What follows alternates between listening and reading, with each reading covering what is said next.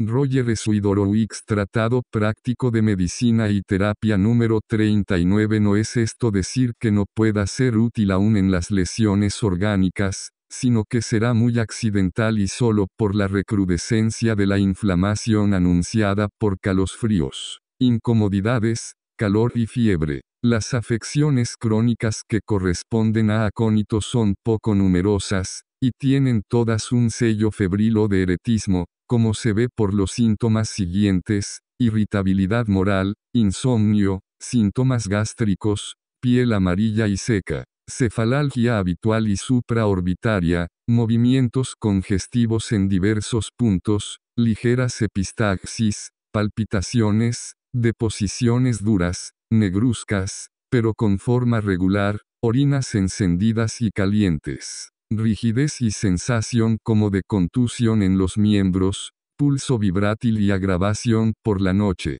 Las afecciones en las que menos indicado está el acónito, son, caquexias y fiebres sépticas, frecuentes recidivas de irritaciones mucosas, ya vaginales, ya bronquiales en el engrosamiento de las membranas y su adelgazamiento por la disminución de la tonicidad a causa de congestiones vasculares repetidas. Se le cree eficaz por algunos síntomas en las leucorreas ligeras, en las irritaciones uretrales, la flegmasía alba dolens y la eclampsia de las recién paridas. Juzgamos que serán muy raros los casos de esta especie en los que el acónito pueda ser útil. Lo mismo decimos de las afecciones mentales con ideas fijas o con alternativas de alegría y desesperación, o con temor excesivo de la muerte. Todos los síntomas de espasmos, preliminares de una afección grave, corresponden mejor al acónito que a ningún otro,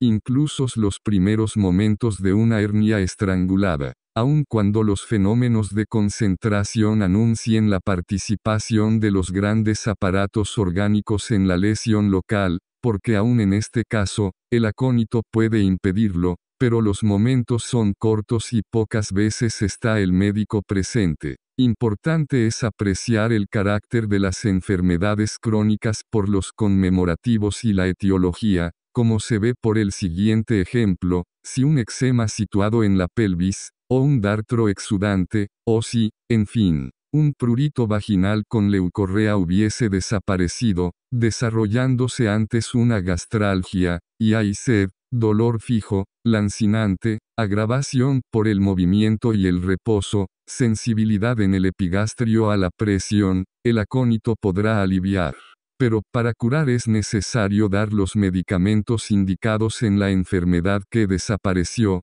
Madrid, Venezuela, Miami, Roger Suidorowicz 2000, 22 Roger Sidorowicz.